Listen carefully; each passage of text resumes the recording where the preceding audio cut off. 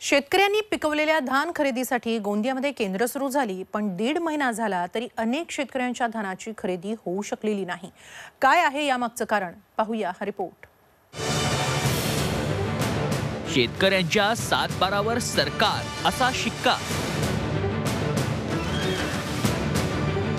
खरेदी केंद्रांवर सरकारकडून धान खरेदी होईना.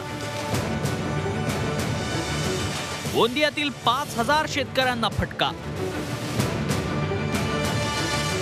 गोंदिया जिल्ह्यात धान खरेदी केंद्र सुरू होऊन दीड महिना उलटला.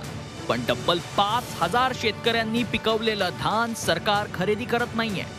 कारण त्यांच्या सात बारावर सरकार असा शिक्का आहे. वनजमिनीवर शेती करणाऱ्यांना जे वनपट्टे देण्यात आले त्यावर सरकार असा उल्लेख आहे. त्यामुळे त्यांच्या धानाची खरेदी होत नाही.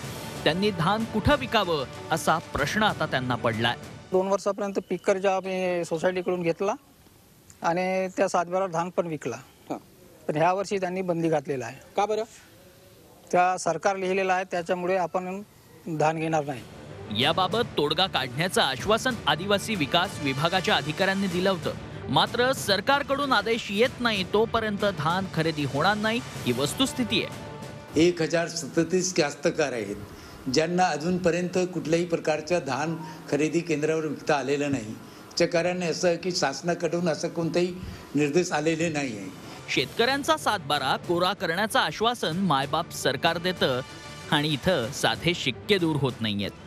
त्यामुळे नाईलाजानं खाजगी व्यापाऱ्यांना धान विकण्याची वेळ आदिवासी शेतकऱ्यांवर ओढावली आहे Pravin Tandekar Zee media Gondia. Johnny.